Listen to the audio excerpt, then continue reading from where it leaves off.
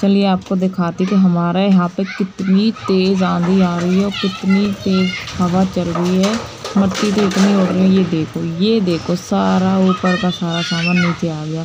इतनी तेज़ जो है आंधी आ रही है और छत पे तो मैं उड़ी उड़ जा रही थी सच में।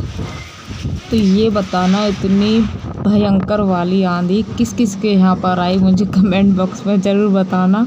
मेरे हिसाब से तो सबके यहाँ आई होगी और ये देखना कैमरा कैसा हो रहा था। मैंने बताया ना, मैं उड़ी उड़ जा रही थी। इतनी भयानक आंधी आ रही थी और डर भी लग रहा था। अगर आंधी में आप खुली जगह पर खड़े हो जाओ ना तो डर तो लगना ही लगना है। ऐसा लगता है कि साथ में उड़ा के ही ले जाएगी अपनी आंधी। और सारा कुछ गिर गया था छत पे से। ये मैंने उठा के रखा है और सब कुछ गिर गया था। बताओ कितनी भयानक आंधी आ रही है। और ये सुबह का क्लिप है मॉर्निंग का। आंधी एक दिन पहले आई थी, वो रात का क्लिप था और ये सुबह का है तो कंटिन्यू इस नहीं कर पाई थी क्योंकि लाइट ही नहीं आई थी उस रात को। लेट आई थी बहुत। आज मुझे जाना है तेल में तो भांजी की शादी आ गई है तो उन्हीं के मतलब तेल चढ़ रहा है आज। और मैंने कहा, बच्चों के लिए चार रोटियाँ जो है सेक के रख जाती हूँ बना के। और अरबी की सब्ज़ी बनाई है, जो कि नकुल को पसंद है, उसकी पसंद की बनी है। और मेरा तो मन नहीं कर रहा खाने का, बिल्कुल। पता नहीं क्यों रोटी खाने का मन नहीं करता, प्यास ही प्यास लगती है, बस पानी पीते रहो ठंडा ठंडा। तो आज मैंने फिर उल्टा काम किया है, कि पहले नहा ली, उसके बाद मैंने सर धोया है। और बस रोटी सेक के मैं जा रही हूँ तैयार होने के लिए। तुम कर ले? ये वाली चूड़ियाँ जो है ना, ये मैंने अपनी सिस्टर से मंगाई थी, फिरोजाबाद से। प्लेन चूड़ी, जो रेड कलर की प्लेन होती है, वो तो ये ऊपर जो इसका काम हो रहा है ना, ये नक का और मोती का मतलब ये थोड़ा डिज़ाइन सी जो बन गई है प्लेन चूड़ी की तो ये नेहा के घर पे काम होता है। उसने बना के भेजी है, वो चूड़ी ले गई थी सादा प्लेन और नेहा को बहुत लोग जानते भी होंगे, दीदी की, भतीजी है वो तो उसके यहाँ पे काम होता है तो उसने कल चूड़ी भेजी है ये लगा कर लाल कलर की। और ये दीदी के लिए भेजी थी, उसने। तो अब मैंने और दीदी ने आधी आधी कर ली। उन्होंने मेरी बारह ले ली, मैंने उनकी बारह ले ली। तो ये पिंक कलर है, ये रेड कलर है, पर लेकिन ये रेड ज़्यादा जच रहा है इससे। तो लेकिन मेरे इसमें पिंक खिलेगी तो मैं यहाँ पर जो है पिंक साड़ी में मैच कर लूँगी। और ये वाले कंगन जो मैं उस दिन बाज़ार गई थी, मंडे मार्केट, जब लेकर आई थी मैं तो मैंने कहा, चलो, यही डाल ले रहे हैं अभी सादा सिंपल से। चार चार चूड़ी और ये प्लेन हो जाएँगी, मैचिंग भी हो जाएगी और ठीक भी लगेंगे इस तरीके से। तो तैयारी हो चुकी है मेरी और मैं भी तैयार हो गई हूँ। बस मैंने जो है चूड़ियाँ डाल ली हैं तो मैच भी कर रही है। फ़िलहाल फ़िलहाल तो मैचिंग कोई नहीं पहनता अब तो वो चलती है, कलरफुल। तो ये देखिए कंगन में मेरे ठीक लग रहे हैं।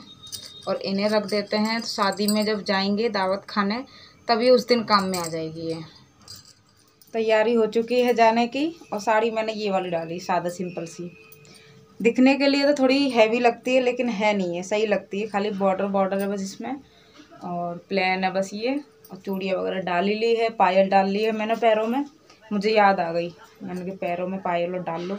नहीं तो सब लोग रिश्तेदार जब जुड़ते हैं ना तो फिर वो अच्छा नहीं लगता। हर कोई टोक नहीं लग जाता है कि पायल नहीं है पैरों में, तोड़िया नहीं है पैरों में, पायल नहीं है। तो फिर वो चीज़ें अच्छी नहीं लगती हर किसी के सामने।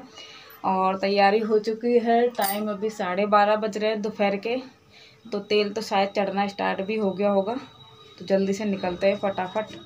और खाना पीना सब हो ही गया है मेरा तो चलिए फिर चलते हैं। अगर मौका मिला तो मैं वीडियो वगैरह क्लिप बना लूँगी थोड़ा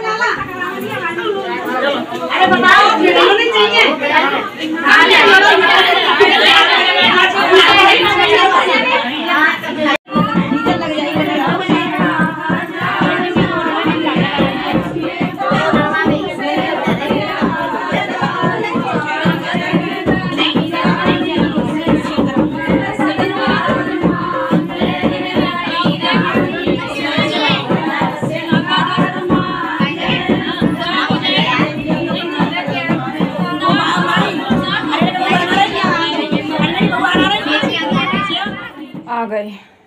अभी अभी आई हूँ मैं इतनी गर्मी हो रही है ना, बाहर हद से ज़्यादा गर्मी हो रही है। और टाइम अभी साढ़े चार बज रहे हैं। मतलब सोचा था कि एक घंटे में लौट कर आ जाएँगे, पर कहीं जाना होता है ना तो फिर आना नहीं हो पाता। और बहुत टाइम बाद मतलब तेल चढ़ा, हल्दी चढ़ी, और मतलब बहुत टाइम हो गया, ज़्यादा हो गई थी। फिर हम गए थे थोड़ा मार्केट की तरफ़, क्योंकि उनका घर थोड़ा पास में ही है, बाज़ार की तरफ़ है। तो बाज़ार गए थे, क्योंकि परसों की है दावत, शादी। तो आईब्रो वगैरह बनवाने गए थे और बनवा कर आए, दीदी गई थी, मैं गई थी। तो बाज़ार से थोड़ा बहुत कुछ सामान था, बस वो लेकर आई और और कल की है ईद, तीन तारीख की। तो बाज़ार में इतनी भीड़ है ना, हद से ज़्यादा सच में। त्योहारों की भीड़ होती है, या हमारी दिवाली हो या फिर ईद हो तो त्यौहार तो मतलब भीड़ तो रहनी रहनी है। तो आप सबकी ईद की ढेरों शुभकामनाएँ। और मैं पहले, सबसे पहले जो है, साड़ी बदल लेती फटाफट। साड़ी मतलब मैक्सी डाल लेती हूँ, गर्मी इतनी हो रही है ना, बहुत ज़्यादा। और पानी तो मिला ही नहीं कहीं पीने के लिए। वहाँ पर गए थे तो वहाँ पर समर का पानी था तो समर का पिया नहीं जाता, क्योंकि हमारे घर पे फ़िल्टर का पीते हैं शुरू से तो आदत पड़ गई है। और वहाँ समर का पानी था तो नहीं पी रहा था, गले से नीचे ही नहीं उतर रहा था वो तो। तब बस फटाफट से ठंडी ठंडी थोड़ी सी ले लूँ हवा, उसके बाद बात करते हैं ठीक? हाँ कर भारे वाले। उधर तो कंगा तो करना।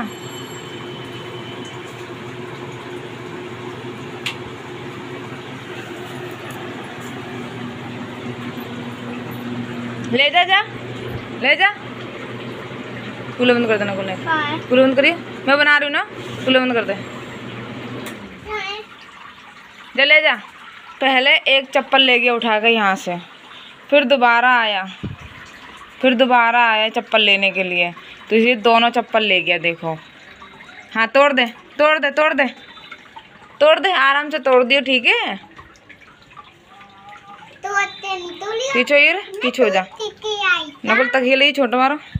जा मैं दऊँ ले छोटा तक दियो।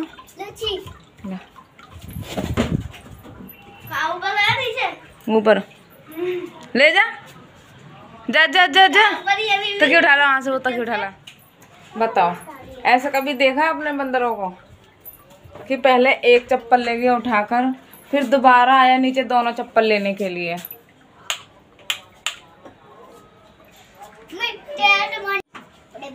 मतलब कि एक चप्पल ले गया और दूसरी लेने के लिए भी नीचे आया ये। ऐसे ऐसे बंदर रह गए बताओ। हाथ हो गई है ना? हाथ हो जाती है बताओ। समझ में नहीं आ रहा कि क्या करूँ मैं। दोनों चप्पल ले गया और तोड़ भी रहा था वो, है ना? अभी तो मैं जाऊँगी नहीं छत पे, मैं पता पड़ी कि चप्पल की वजह से मैं तो गई काम से।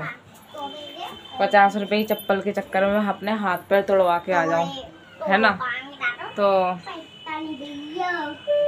और शाम के बज रहे अभी सात तो मैंने कहा आराम से मैं बैठी। फ़ोन में। अरे कैसे चुप हो जा। फ़ोन में गुजरा कुछ थोड़ा बहुत काम था वो कर रही थी अपना वाइटी गई तो बस इसने भी बताया नहीं मुझे। और ये पता मुझे ऐसा डराता है जैसे बंदर चल के आते हैं ना घोटू घोटू ऐसे चल के आता है। इतना डराता मैं इस पर बहुत चिल्लाई सही में। मैंने कहा ऐसा ना डराया कर। फ़ोन का पता नहीं कैमरा कैसा हो गया पता नहीं इसकी सेटिंग जो है बिगड़ गई है। तो पता नहीं अजीब अजीब सा आ रहा है। बंदरों का कोई भरोसा नहीं कि कब आ जाए। चलो एक चप्पल तो डाल दिया मेरे ख्याल से तोड़ के डाल गया ये। ना, सही सलामत है। एक चप्पल डाल गया है, जीने पे एक ले गया छत पर। अब छत पे ले गया है तो फिर तोड़ी दी होगी, उसने पता है। तोड़ दी होगी तो फिर एक का भी क्या चार डालूँगी मैं। और अभी जो है, मेरे बर्तन भी नहीं साफ़ हुए, वैसे बर्तन तो है नहीं है। बस एक दो बर्तन है, वो मैं बाद में करूँगी। और सब्ज़ी वगैरह बनी रखी है, क्योंकि मैंने खाना वहीं से खा कर आई थी मैं। मैं और दीदी दोनों। तेल में से क्या? नहीं, गंदा है तेल में से और शादी है परसों की। तो वहीं जाएँगे परसों, फिर आपको दिखाएँगे। तो चलिए फिर वीडियो कर देते हैं एंड फिर मिलते अपने एक नई वीडियो के साथ। बंदरों का तो कोई भरोसा नहीं, कभी भी आ जाए। इनसे तो सच में बहुत डर लगता है, बताओ। इतना देखती रहती हूँ कि वह कहीं आ नहीं जाए, कहीं आ नहीं जाए, फिर भी आ ही जाते हैं। अगर कुछ काम करने लग जाओ ना तो मतलब आग चुकते ही आ जाते हैं, अंदर घुसे आते हैं फिर वो। चलो वीडियो का कर देते हैं एंड फिर मिलते अपने एक नई वीडियो के साथ, जब तक के लिए बाय बाय